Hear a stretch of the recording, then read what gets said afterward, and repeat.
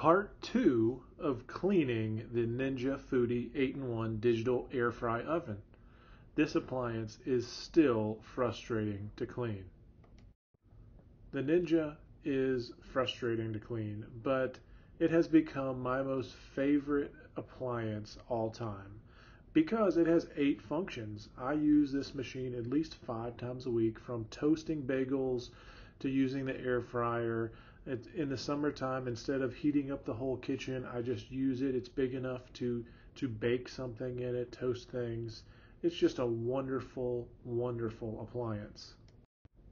So in my first video, I show how to clean the ceramic pan of the Ninja, but in all honesty, I don't use the ceramic pan half the time.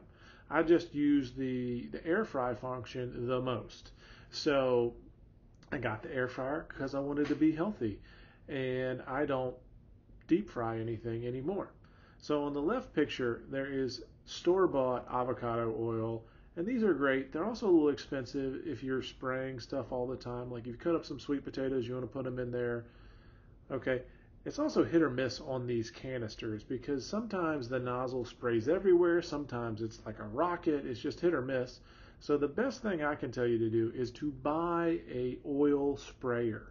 And this one that i am showing, I'm going to put the link below in the comments. Uh, you can change the nozzle. So if you need a heavy spray, you need a mist, whatever it may be, it really helps out.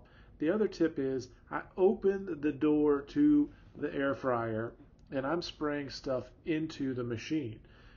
There's less mess on my counter, but then I'm going to have to clean up the machine and I'm going to show you how to do that in, in a minute. The other thing is buy grapeseed oil uh, because it has a really high smoke point. I put olive oil on it. Uh, it has a low smoke point. It burns my food sometimes. And grapeseed and avocado oil are much healthier than the other types of oil that you can get. So I try to pull out the drip pan on the bottom of the machine every seven to 10 days. But after using it five or six times a week, this is what it looks like because I'm spraying the oil into the pan and then I'm cooking it at, at 900 degrees or whatever really the equivalent of 390 degrees air fry is. And it just is this sticky, baked on, gross mess, and it's just a pain to get off. So the ceramic pan and the magic erasers are a magical combo, but it doesn't work for the drip pan. Just doesn't work. So I really didn't want to use chemicals. So in my search to find something natural, easy to clean, first thing I tried was baking soda and vinegar. It did a decent job, but it left a lot of food debris left on there. So I moved on.